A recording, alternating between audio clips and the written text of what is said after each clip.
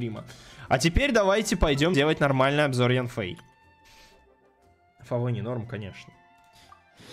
Нормальный обзор Янфей. Янфей это для тех, у кого нет кли, сразу же вопрос в чатике.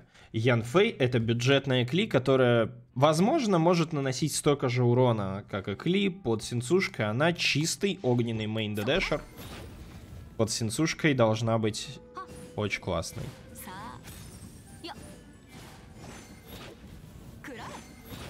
И у нее очень няшная печать на ней олененок.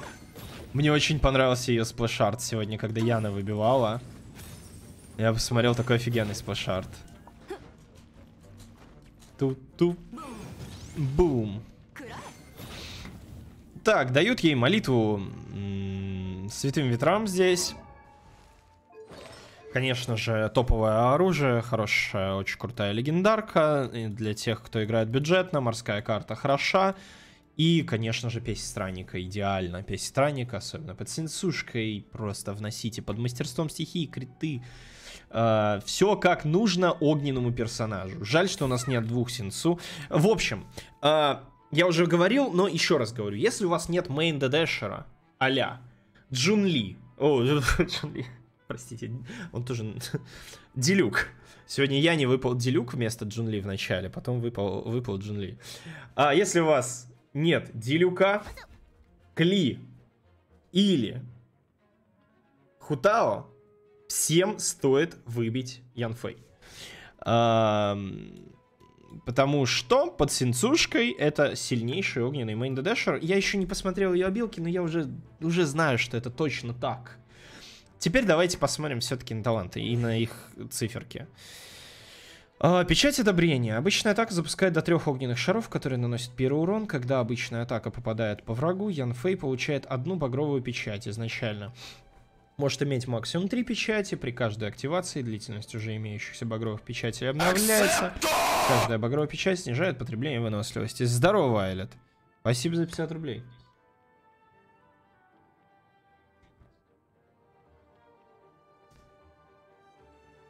Чича! Слушай, ну если это всего лишь 27-й ролл, то не, не смей жаловаться. Тебе до деда всего лишь 76 круток. Спасибо за донейшн, Аксет. Заряженная атака. После прочтения краткого заклинания тратит некоторое количество выносливости и все багровые печати, нанося первый урон по площади перед собой. Чем больше потрачено багровых печатей, тем больше урон и радиус заряженной атаки. Накопив энергию огня, атака в падении стремительно падает на землю, нанося первый урон. Циферки. 90, 80, 120. То есть э, в сумме, ну, условно, 300%, 300 урона. Да, 300% на восьмом уровне. Не, звучит как неплохая цифра. Тем более, если каждая эта атака будет испарением, а потом сразу же заряженная атака, которая, допустим, тоже должна быть испарением под сенсушкой. 247, это получается с тремя печатями, да? Их же три максимум. Не, подождите, в начале три максимум, раз, два, три, а эту добавляет, наверное, какой-нибудь талант или созвездие. Или Ешка. Я помню, что Ешка тоже их накидывает. Снижение потребления выносливости с багровой печатью 15, 30, 40, на 45% за 3 печати. Ну, в два раза дешевле, 25 выносливость не очень много за заряженку. Конечно, Клишка делает бесплатные атаки, когда у нее клевер летает за спиной, если я правильно помню. Урон в падении не очень большой, низкий, высокий, ну это телом, когда попадаете по врагу. Низкий высокий удар 243, ну тоже такие не очень большие цифры. Um, ок. Длитель... Багровая печать длится аж 10 секунд. Они же не спадают, когда переключаешься, исчезают при смене персонажа. Жалко. Ну, в любом случае, мы знали, что мейн ДДшер для того, чтобы за нее дамажить, надо прожать все э, саппортные обилки а не знаю, ульта Диона для мастерства стихии, если она у вас шестого созвездия, плюс Синсу, плюс какой-нибудь там Беннет, и поехали жарить всех э, за Янфейку. А, Ешка.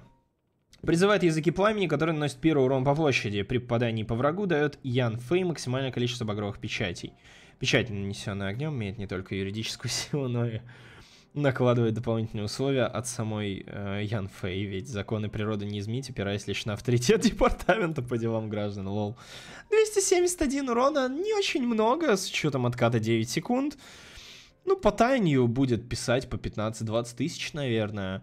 По испарению под 10, ну, по десяточку где-то с нормальными статами. Не знаю. Ну, типа обилка, которая нужна для того, чтобы заж... сделать зажатую атаку, которая тоже 247 пишет, или 221 по испарениям, если вы под сенсушкой, соответственно, ее делаете. Ну, хорош, норм... нормально.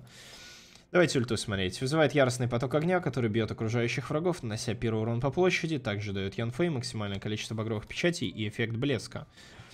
Имеет следующие эффекты. Периодически дает Янфей одну багровую печать. Периодически.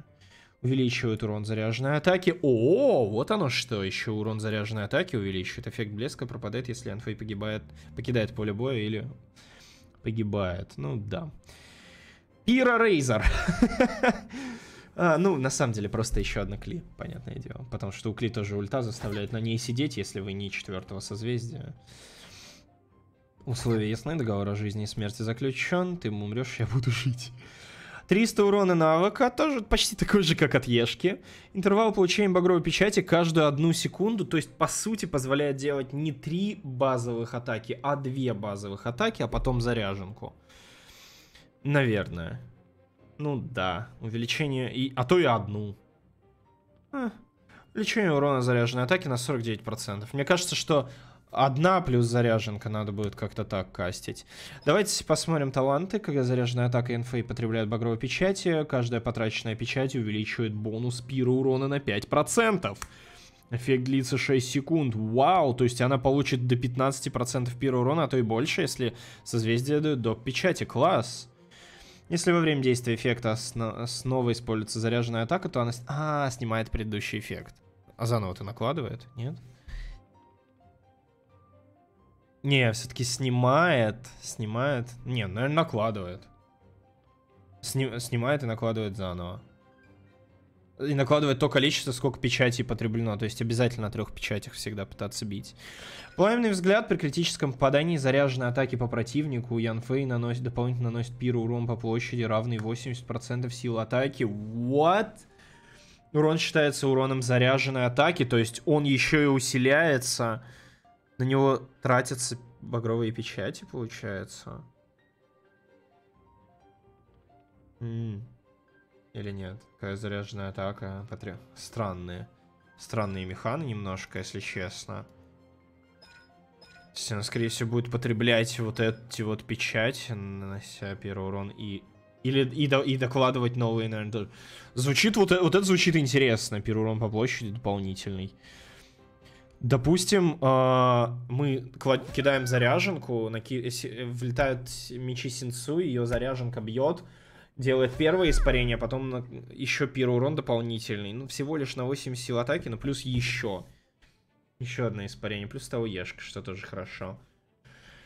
Окей, и отмечаю диковин или на миникарте. Вот это, конечно, смешно просто. Как же они пауэркрипнули Чичи.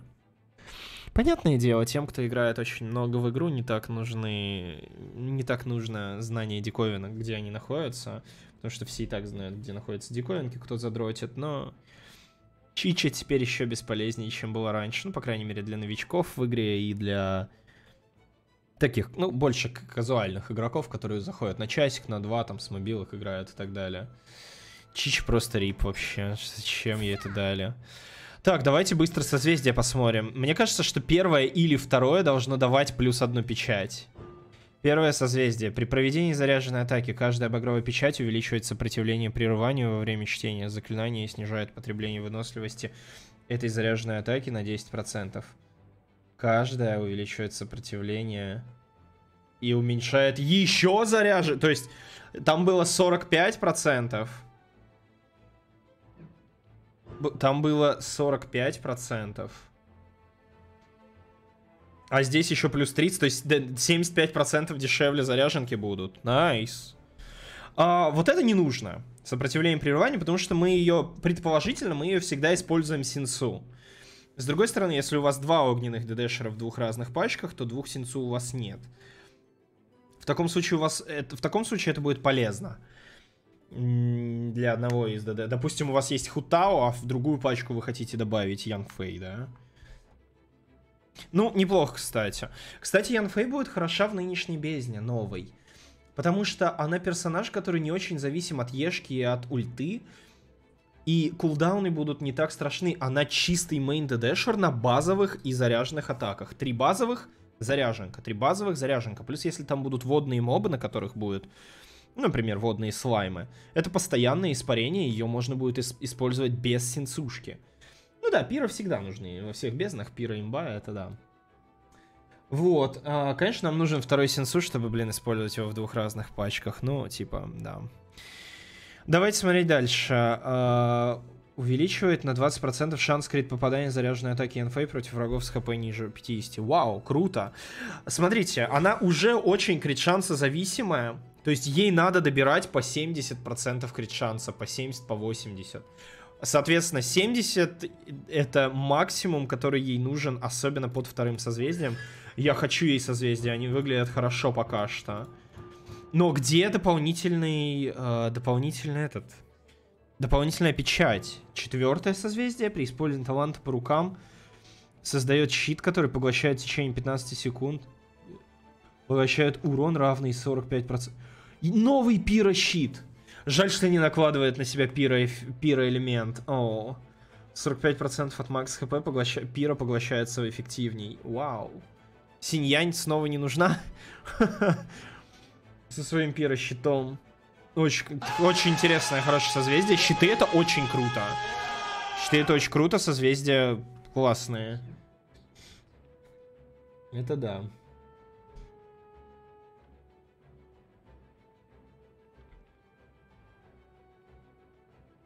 Спасибо, Аль. Donation Accept. Спасибо еще за 50 рублей. А, ну, с первой... Надеюсь, что выпадет. Ох, буду... Пока буду ролить деда, буду надеяться на, на C2 хотя бы, Ян Фейт. C4 тоже как Quality of Life очень неплохо выглядит. Хорошо, а C6 увеличивает максимальное количество багровых печатей. Итого 75-90% уменьшения стоимости заряженки плюс еще 5% дополнительного пира урона. Вот оно, вот оно. И по две заряженные атаки вместо одной, наверное, на... в момент действия ульты, потому что ульта дает до печати раз в секунду, чтобы по 4 расходовать. То есть у нее мувсет должен меняться в зависимости от того, есть у нее 6 созвездий или нет во время ульты. Но это еще, опять же, привыкать, смотреть надо. Это, это я так, типа, те, теорию из головы говорю. Ух, c6, да, неплохо, неплохо. Ну, Грац Янфей, Аркс. Не Грац без деда. Ну, давайте посмотрим, почему ей Синсу не дали в тестовый забег? Что это такое?